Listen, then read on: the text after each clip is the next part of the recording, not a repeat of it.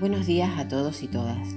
En esta isla de Lanzarote hemos tenido y tenemos un valor tradicional y muy especial, el cultivo y la recolección de un pequeño parásito de las tuneras llamado cochinilla, a través del cual se obtiene un tinte de color rojo altamente apreciado.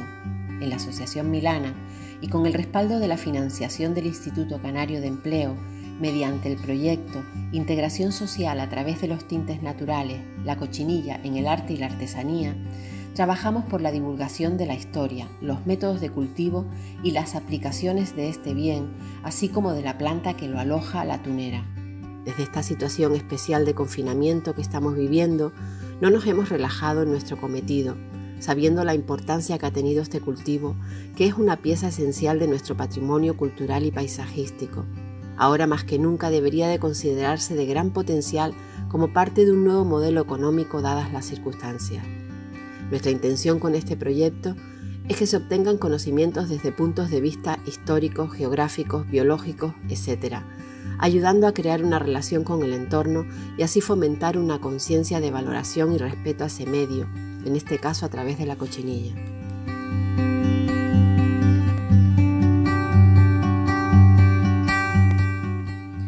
La historia del color ha ido de la mano de la historia de la humanidad, ayudando a representar el mundo que nos rodea.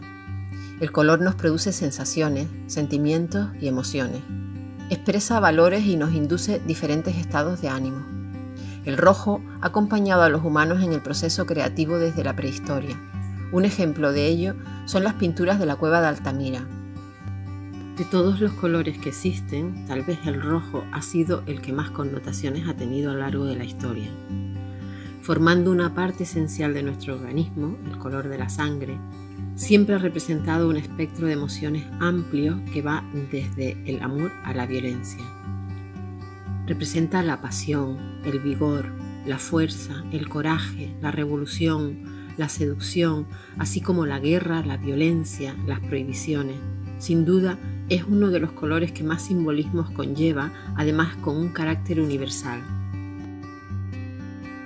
Debido a todo lo mencionado anteriormente, los colorantes que proveen tonos como el rojo, morado, carmesí, violeta han estado muy cotizados desde siempre.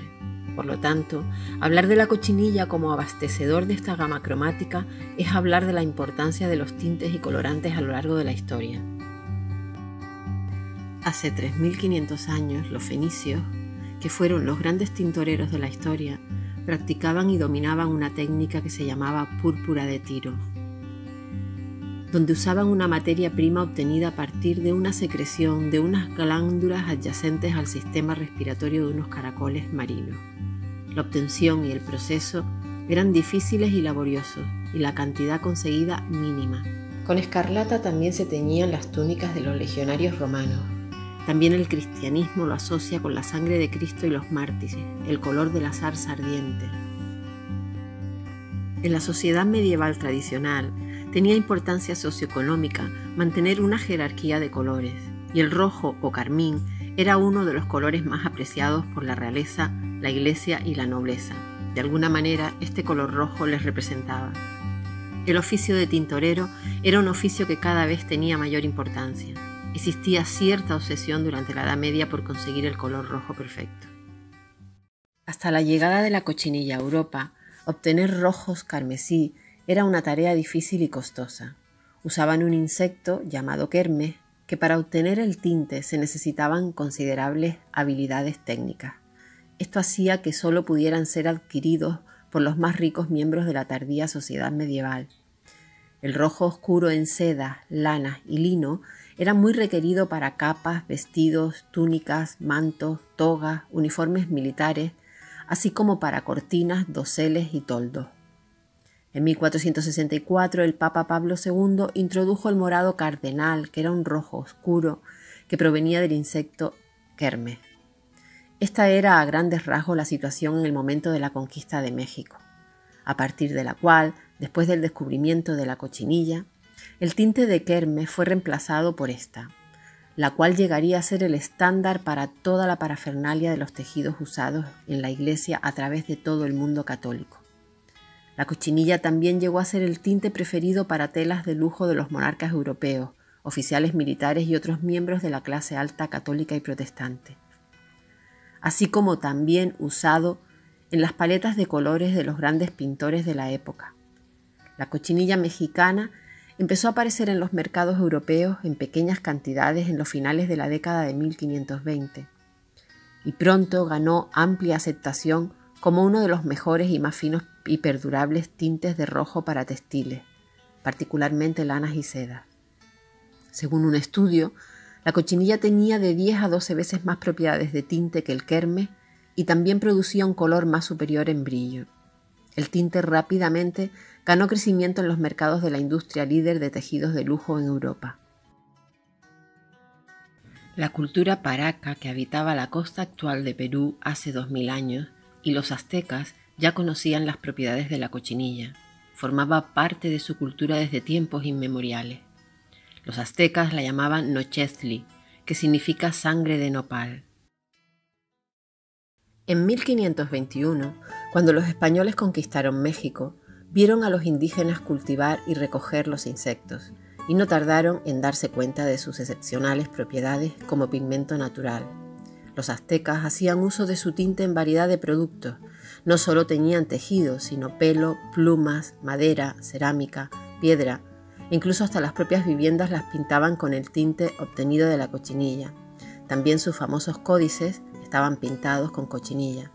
Del valor que le conferían a la cochinilla da cuenta que la utilizaban como tributo de sus vasallos. El primer envío a España se hizo en 1526. España intentó camuflarlo como producto de origen vegetal para dificultar su identificación y garantizarse el monopolio. Se prohibió la exportación de los insectos vivos.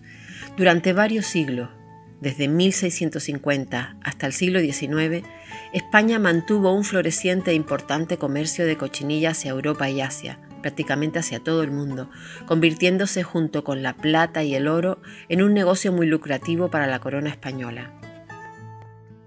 Debido a los intentos de emancipación de los pueblos americanos y ante el temor de perder tan preciado negocio, la cochinilla cultivada y viva se transporta por primera vez a España, llegando a Cádiz en 1820 ocho nopales cargados de cochinilla. En un año se consiguió una generación numerosa y en vista del éxito obtenido, las Cortes españolas enviaron un decreto para permitir y difundir el cultivo de esta especie en los lugares idóneos por su clima. Es así como Canarias, pareciendo la zona geográfica más adecuada, recibe las tuneras con su cochinilla por primera vez en la primera mitad del siglo XIX entre 1825 y 1830. En un principio, el cultivo no fue bien aceptado, pues era desconocido y los campesinos lo veían como una plaga para el campo. No así el canónigo de la laguna, don José Quintero Esteve, a quien se le debe la propagación de la tunera en Canarias. También los señores Juan Mengliorini y Santiago de la Cruz, habiendo hecho ensayos exitosos en diferentes puntos de la isla de Tenerife, publicaron una memoria sobre el nopal y su cría para el uso de los agricultores canarios, y cuyas instrucciones fueron de gran utilidad para los cultivos de los primeros años de su propagación. El cultivo progresivamente fue en aumento al ir comprobando los agricultores y propietarios de tierras su eficacia. Esto hizo que fuera ganando adeptos, y en poco tiempo se expandió de forma importante debido a las condiciones climáticas del archipiélago que ayudó a producir una cochinilla de gran calidad, y dando lugar al abandono de casi cualquier otra actividad agraria. La llegada de la cochinilla a Canarias supuso un impulso económico importante, ya que las primeras décadas del siglo XIX fueron de una constante crisis económica.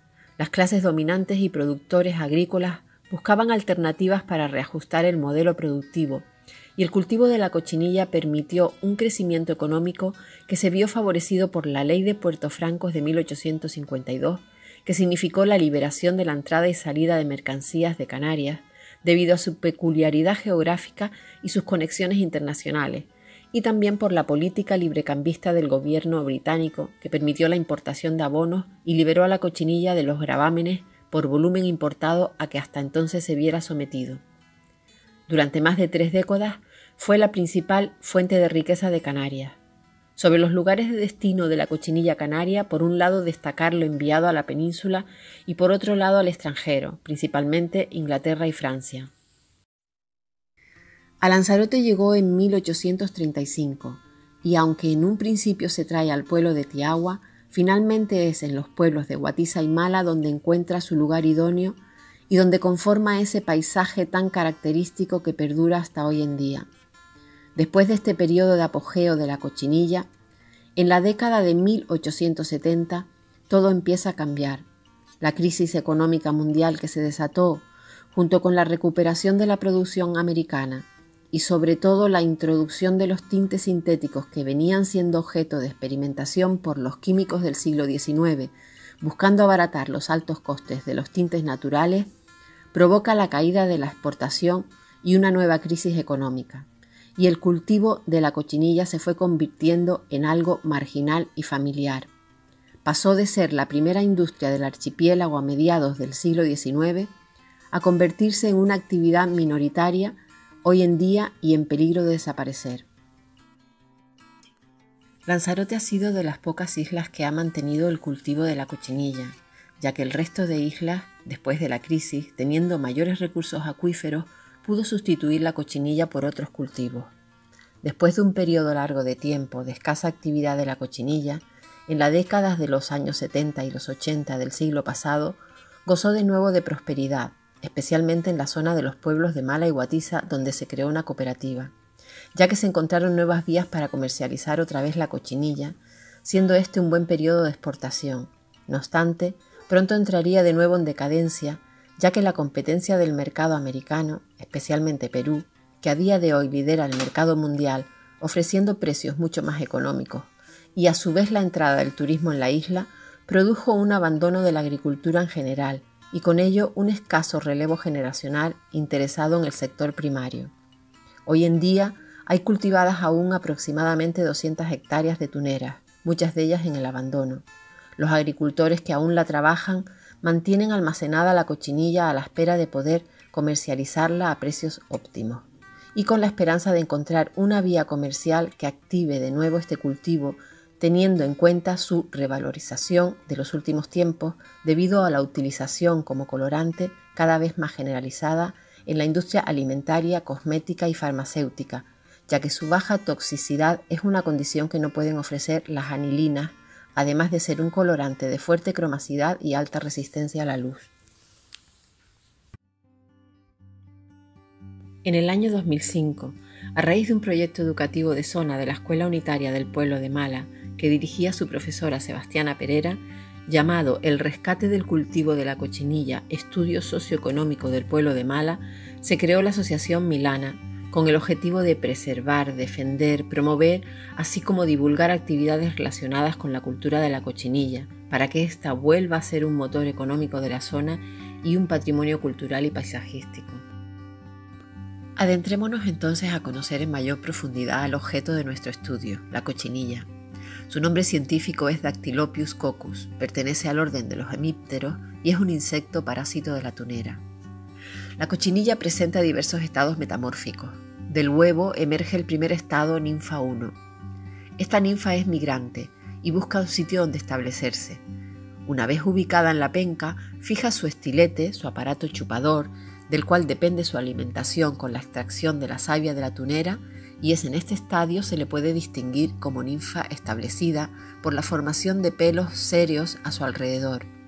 Sufre una muda y en ese momento ya se observa su color rojo debido a la transparencia, que en esta fase aún no madura, transformándose a continuación en la ninfa 2, en la cual se cubre de una cera polvorienta y a partir de este punto la evolución de la hembra y el macho difieren.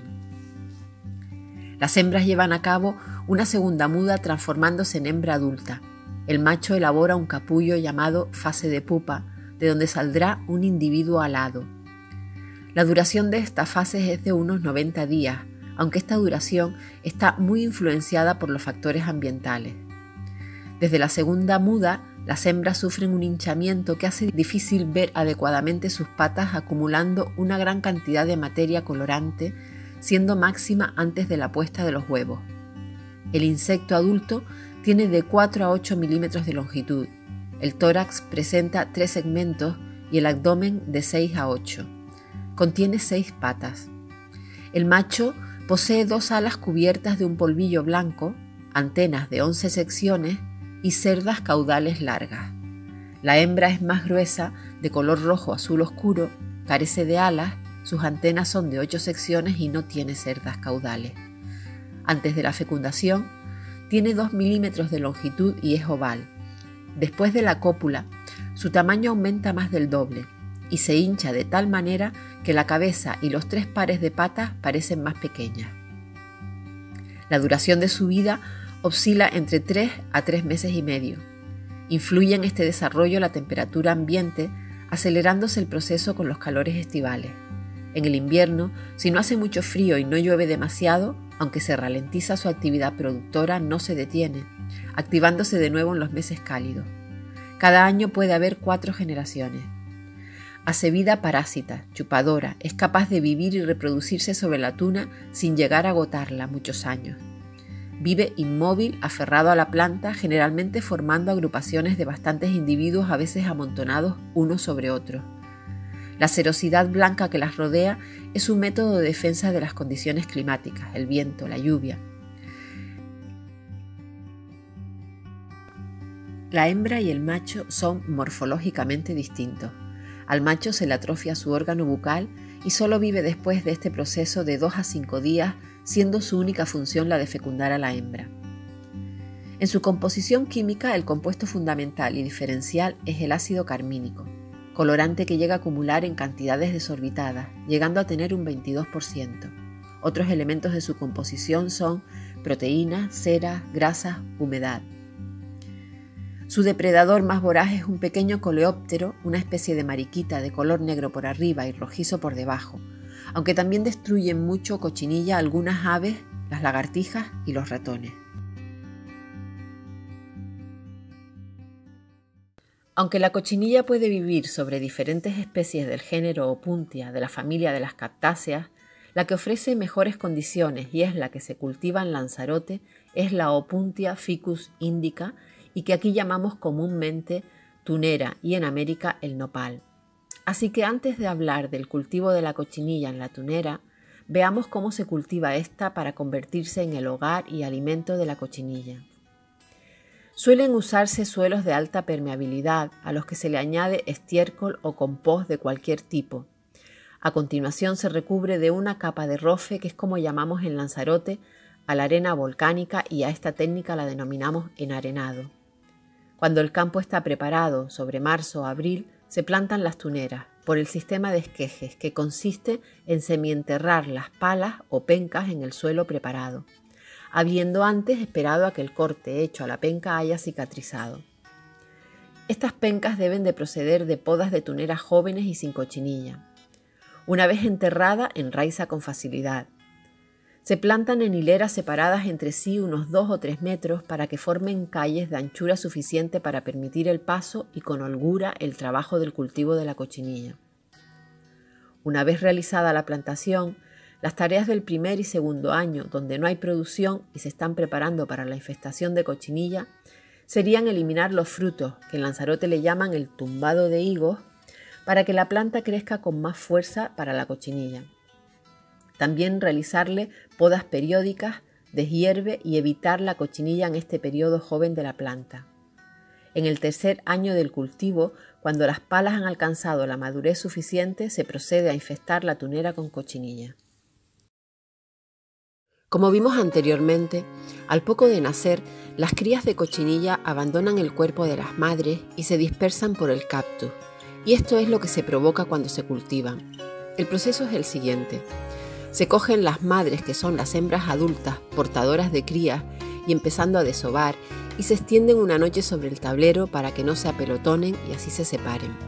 Al día siguiente se meten las cochinillas en unas bolsitas pequeñas llamadas rengues que están hechas con una tela de malla a través de las cuales pueden salir las crías pero no las adultas.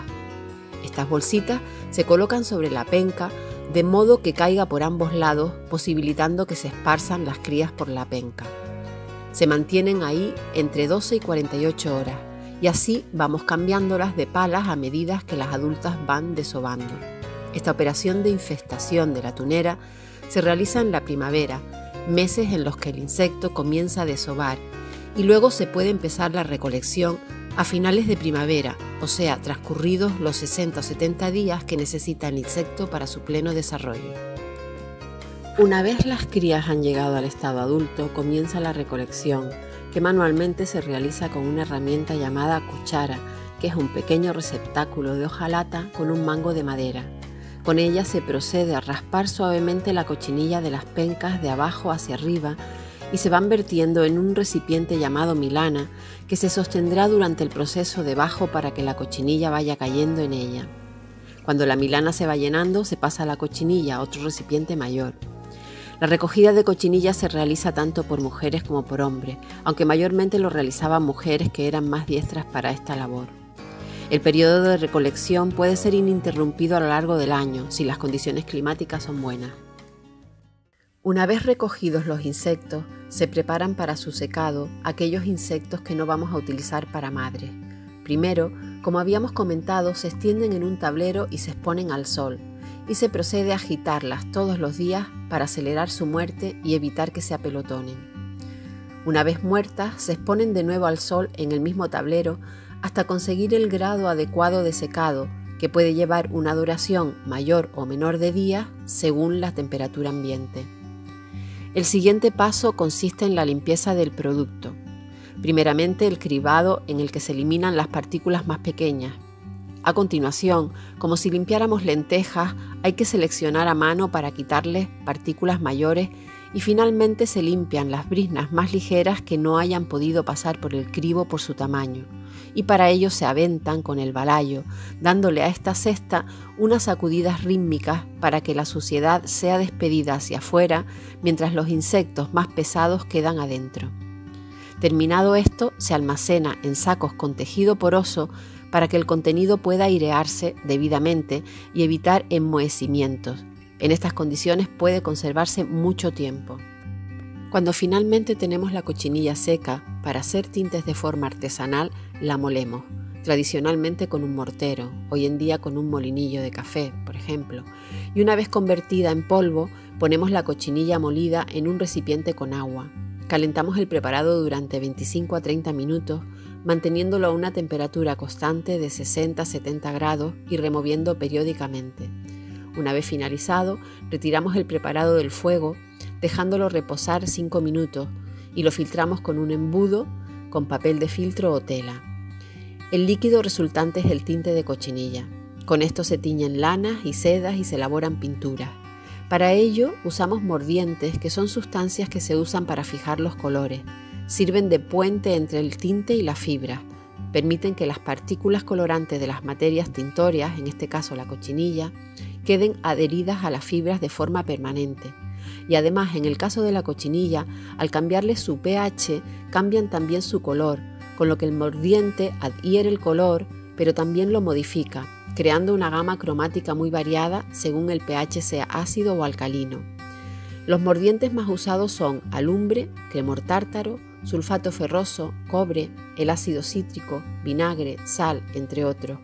Haremos una pequeña muestra en vídeo de los cambios del pH y su efecto en el color. Bien, pues ahora vamos a hacer una pequeña demostración de cómo el, pH cambia el color de la cochinilla. El pH es un valor que nos da información del grado de acidez o alcalinidad de una sustancia. Eh, se mide del 1 al 14. El 1 sería el pH ácido y el 14 sería el pH alcalino. El 7 sería el pH neutro y la cochinilla está eh, en, ese, en, ese, grado, en un grado de pH neutro. Entonces, mm, para hacerlo vamos a coger un poquito de cochinilla molida, recuerdan que la secábamos y luego la molíamos, aquí la tenemos molida. Vamos a echarlo en un poco de agua eh, caliente para que se disuelva mejor y aquí tenemos su color natural con su pH que le corresponde. Entonces vamos a poner una hebra blanca para que lo podamos apreciar mejor y luego la diferencia con, con el cambio de Aquí estaría su color. Entonces, si ahora lo que vamos a querer es hacerlo ácido, pasar su pH a hacerlo más ácido, En este caso vamos a usar limón, concentrado de limón. Los colores ácidos tienen tendencia a ser más naranjas, rojizos. Eso lo vamos a comprobar ahora. Echamos un poquito de limón y ya vemos cómo va cambiando el tono. Ya su tono es más anaranjado casi. Entonces vamos a compararlo. Metemos otra vez la hebra y vemos la diferencia. A ver, esta sería. Este es el tono de la cochinilla y esto es cuando la hemos hecho, le hemos cambiado su pH a ácido. Y ahora lo que vamos a hacer es con un poquito de carbonato que es alcalino o básico, le vamos a echar y lo vamos a hacer alcalino, que tienen tendencia los colores alcalinos a ser morados. Vamos a comprobarlo. Y efectivamente, un cambio radical de color. Entonces, este sería el suyo, el original. Este sería el ácido. Voy a quitar el brazo de en medio. El suyo original, el alcalino y el ácido. Como vemos, ha cambiado los colores y con, este proceso podemos ir cambiando los tonos de la cochinilla, con lo cual la variedad de tonos es bastante amplia y eh, es verdad que siempre más o menos en un mismo, en un mismo tono, pero la variedad cromática va cambiando.